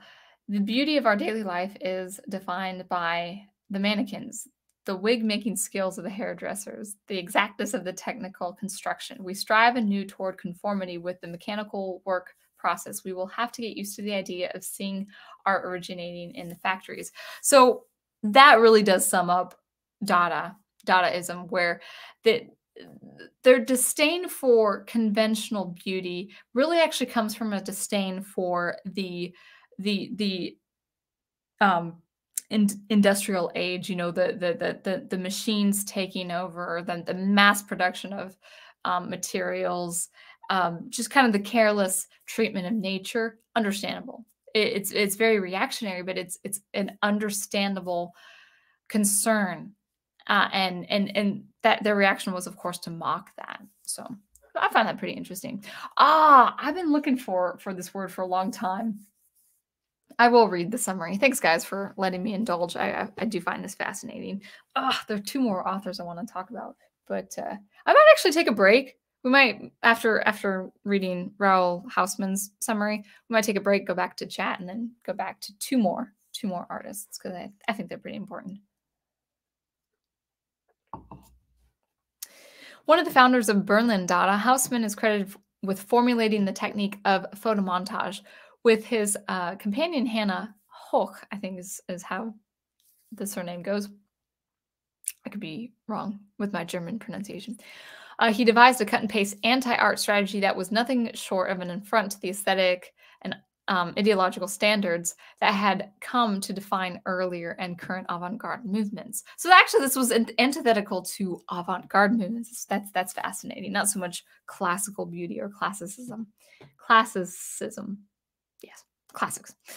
In Berlin Dada's attempt to um, in Berlin's Dada attempts to build a new aesthetic code for a shell-shocked post-war German society, his output extended to assemblage, uh, assemblage, sorry, assemblage, uh, experiments in sound poetry and polemical writings. So, so taking bits of newspaper, for instance, and, and pasting it in a, in a form of art. After the demise of the group, Hausmann effectively reinvented himself in the dual role of fine art photographer and painter, and as the would-be inventor of the ambitious sound image conversion machine he named the op- optophone so, um, yeah, he I, I, and I think the optophone, if I remember correctly, is is a way to artistically convey the sound. So, like, um, you know, would actually be be seen printed as an artistic kind of bubble or or cloud. You know, to really depict um, a, a, an artistic symbol of the the phoneme or the or the letter. Uh, I, I kind of find that pretty engaging, to be honest. All right, let's go ahead and and we'll stop our screen share. Um, let me get into the this page here. Yeah, yeah, Hugo Ball. Hugo Ball is important, and then Kurt Schwitters, and then we'll we'll, we'll be done. And fortunately, Hugo Ball uh, only has one quote, and I think I even quoted it, so we don't even have to go through those quotes. Thanks, guys. We'll see how uh, um, you guys are handling it. You guys getting bored yet? That's all right. All right.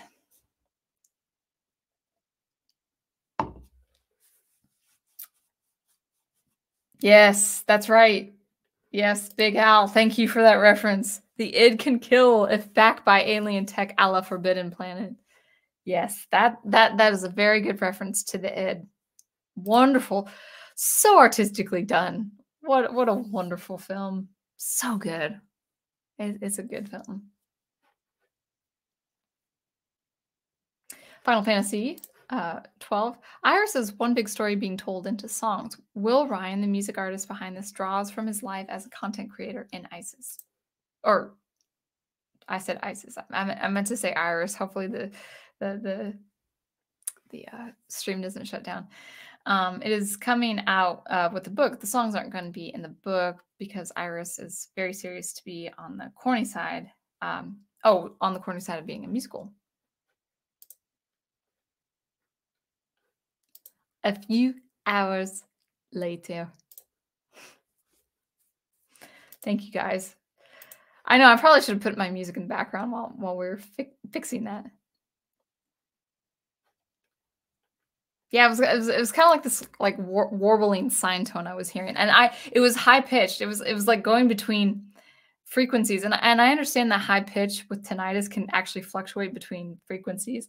Now I w- I wasn't hearing it in one ear; I was actually he hearing it in both ears, which actually would be a, a, a, better way of having tinnitus than to have it in one ear. But I, I heard ringing, and I just I didn't know where, where that was coming from. R says the the the fountain art is disgusting but oddly beautiful. Yeah, and I think I think Duchamp, based on his quotes, he didn't he didn't like that. He didn't like it to be taken as as something beautiful. But that's see see that that's the beautiful thing. See, I, have been saying this. This is proof. you know, Duchamp, uh, Marcel Duchamp is is proof of what I've been saying these these past weeks. Is that you don't have to worry about narcissism as an artist. You don't you don't have to worry about ego because people are going to interpret your art in ways you don't want them to interpret. You know, it's like, oh, you're not supposed to see this as beautiful. Sorry, you know, people are going to see. People are going to see it as beautiful. So I, I that that's pretty funny. So got a little hair sticking out. Wonder what that's about. that almost sounded like beatboxing sound engraver. Um, actually, Elijah, I, I I used to practice beatboxing, but I haven't done it in in years. And um, Uh, my lips are really dry right now. I'm not gonna, I'm not gonna try it live. But yeah, I, I used to have a pretty good, pretty good kick, pretty good kick. Um, all right, so we'll talk about two more artists, and then we will, uh, we'll we'll wrap it up because I actually probably want to do one or two artistic things tonight before going to bed. We'll see.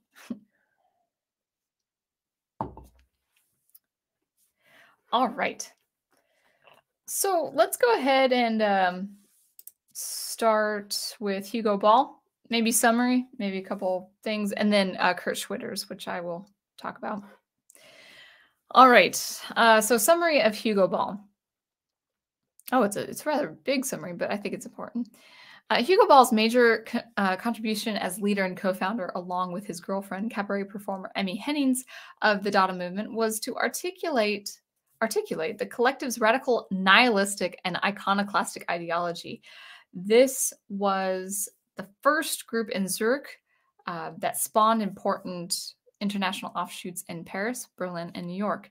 In their first Dadaist manifesto, written by Ball in 1916, the early Dadaists who met at the Cabaret Voltaire explained how their new movement was a direct revolt against the prevailing bourgeois aesthetic and social values of the West, always the West under attack, and against society's glorification of war and violence.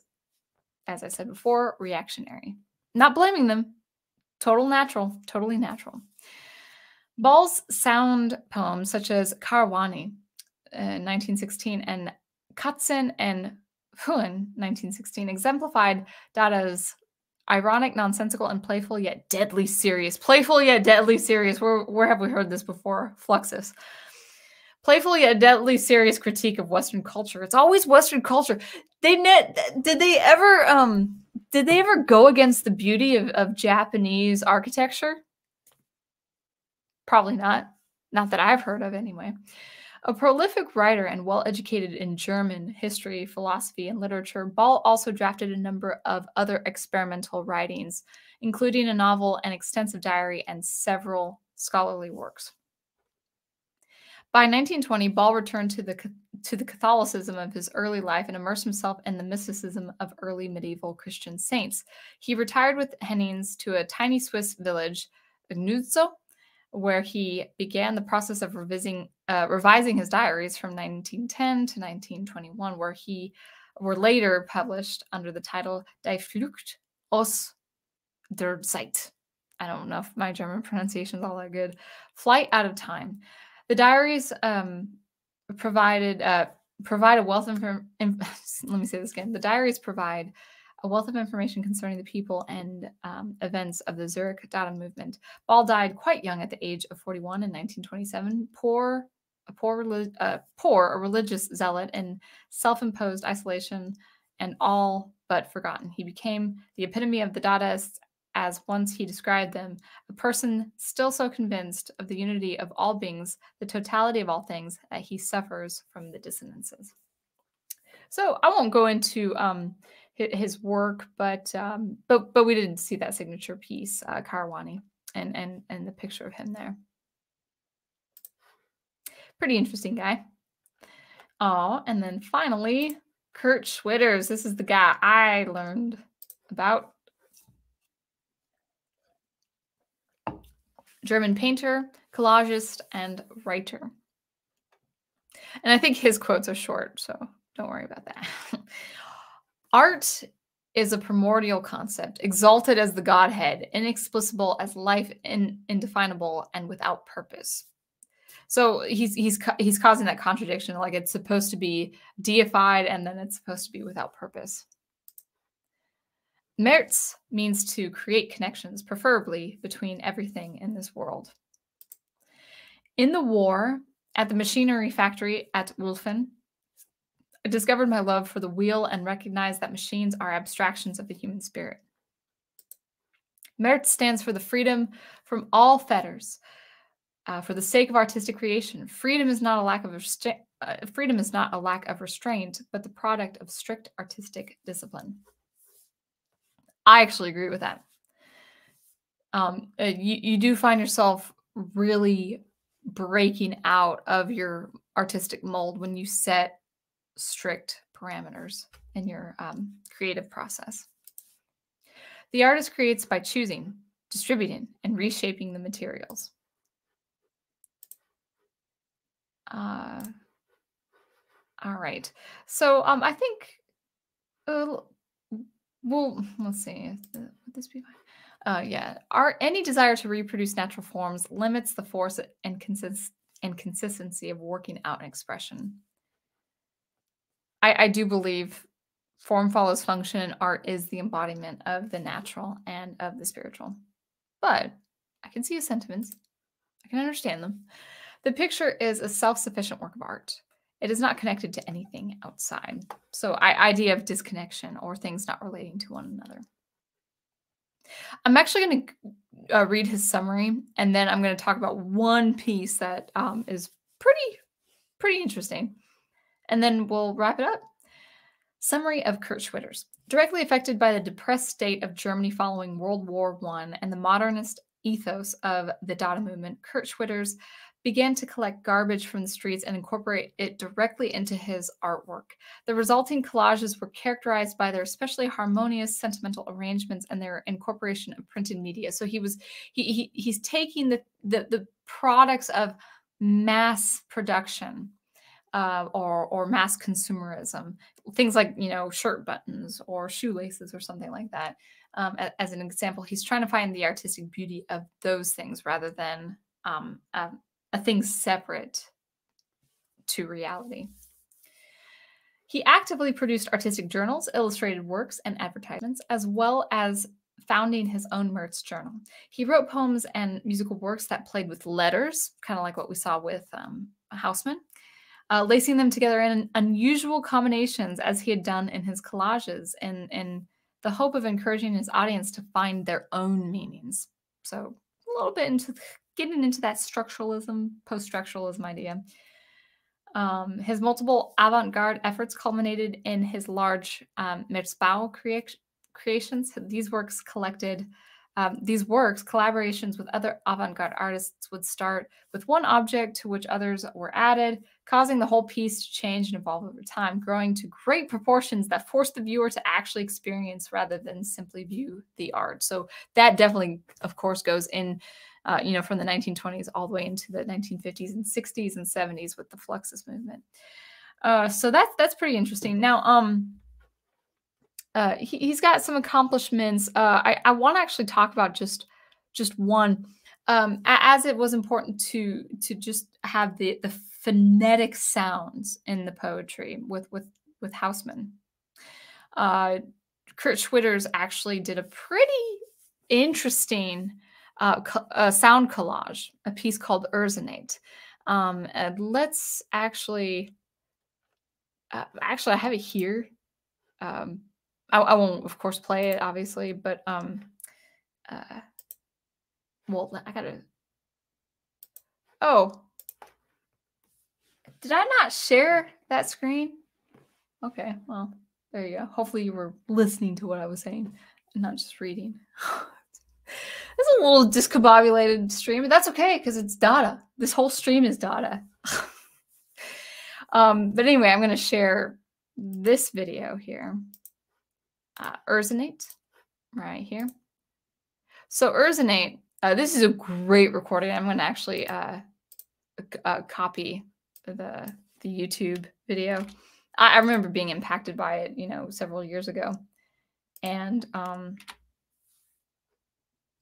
it, it it's about a this performance is 17 minutes it, it, could go longer it could go shorter but he speaks these these nonsensical uh, nonsensical syllables um really really really fast um and he's he's very good. So it's it's a very absurd performance but this this performer michael schmid i think uh he he he the performance is really inspiring. It's really really well done. So if you want um, a Dada performance piece that is excellently done, um, this one right here, um, Ursonate. Um, Ursonate, I think, is, is a play on words like resonate, and it's all about just achieving kind of a musical variety with with the mouth sounds and with the with the different syllables. Uh, there's an old old recording I think in in the 1930s that it, it's just not as dynamic. It's it's not as good as this video. Um, so if you are interested in seeing a, a, a Dada piece, uh, Kurt Schwitter's Ursonate is pretty much the best one out there that I've seen.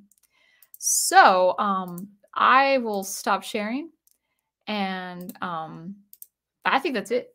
I think I think we covered Dada. I, I wanted to cover Neo Dada, but I was like, well, there's there, there are things I want to talk about. So it, we're really going up to the two hour mark, uh, with with with some minor interruptions, and that's okay. So um, all right. Uh, Final Fantasy fan says, as the saying goes, and this is the point of Iris, art is in the eye of the beholder. It is in the eye of the beholder. The the the that that's what that's that's the one thing that makes art subjective is actually the experience of the viewer. But i would say art is also objective. So um yeah anyway.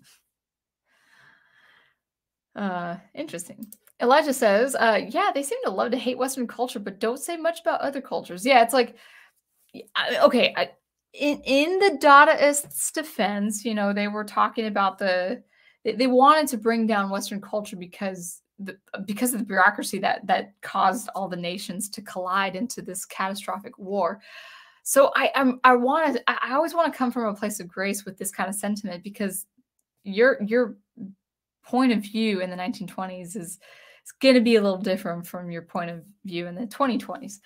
Um, we're, we're just trying to fight and uphold the goodness that we have here so we don't have to go back into what they faced in the 1920s um but uh yeah so uh, but but but you know for world war ii however if if that if that mindset continued would they say anything negative about the japanese there have been a lot of, there there have been instances where i've seen um uh artists depict the horrors of Hiroshima, you know, and and how bad that was. of course, it was catastrophic. Um, and I'm not I'm not lessening that, but but it's like, what about Pearl Harbor? You know, we were attacked. you know, um, what about the depiction of of that? And and so I, I find I find that this like this tearing down of the West is like, yes, I, I get it that that's a reaction of the great war no question. But but it, it, it's continuing. A hundred years later it's continuing. And and we haven't experienced world wars world wars and in, in in our lifetime. You know people you know people are el- you know they're, they're elderly those who um you know vividly remember you know world war ii like yeah it's so uh, anyway, um, Dr. Y says, depressed artist, Germany post World World War One, not good, not good, not good, not good. A depressed artist started World War Two. Oh, oh, I know that reference. So, um, anyway, so, um, actually, uh Team Ghost, I I I actually forgot the initial um start of the word Dada. It's it's supposed to represent nonsensical, but I actually think it came it came I feel like it came from an actual country in the world meaning something, but I, I actually didn't do my research. Um, but Dada is supposed to be that, that, that, that, you know, like nonsensical, blah, that, that, that, that. Like, so if you actually looked into old archives of, of Dada sound poetry, you would hear that. You would hear ugliness of, of you know, syll- syllabic ugliness that that's supposed to sound like you're, you're an infant. You're you're you're nonsensical. Um, so so Dada is is kind of that representation. Da da da da. You know, something like that. Anyway, I feel like I need to talk about something. Um, just just closing. We're we're we're, we're closing. We're we're at the two hour mark. Um, what was I going to say? I feel so discombobulated tonight. Um, or dis- disoriented, I, I would say is a better word. Um, just look, be on the lookout for some SuperCollider videos uh, this Thursday. And um, maybe some more commentary. I'm trying to I'm trying to do like a SuperCollider video on Thursdays and then two commentary videos following, you know, just from the stream. Um we're getting into close to Thanksgiving. Um Prof and I are going to do something for for Thanksgiving, like a Thanksgiving stream. Uh, we don't know the date yet, but we'll we'll do something together, and um and that would be on his channel.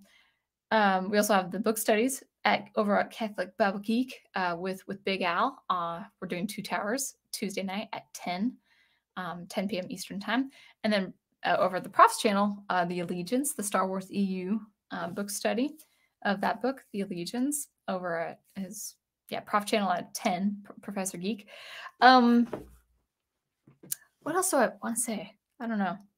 I need to get back into um, some uh, some game soundtracks and and and maybe uh, doing some um, you know easy analysis over you know uh, of like the game I'm playing right now is Final Fantasy IV and and enjoying the music there. So maybe some uh, gaming analysis. I need to actually do fixed videos and, and continue on with my DKC series. I might do that getting into September or September, December.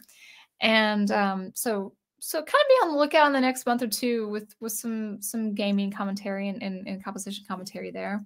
Um, some some evaluation and assessment. Um, if I find another art movement that is pretty important, you know, to talk about the philosophy of of, of um, you know people, you know, artists mocking uh, the culture and the climate, all that. You know, if I, if I find that there are, are philosophies that are related to what we see in, in the mystery the mistreatment of our popular franchises, then then I'll then I'll uh, continue talking about art art movement.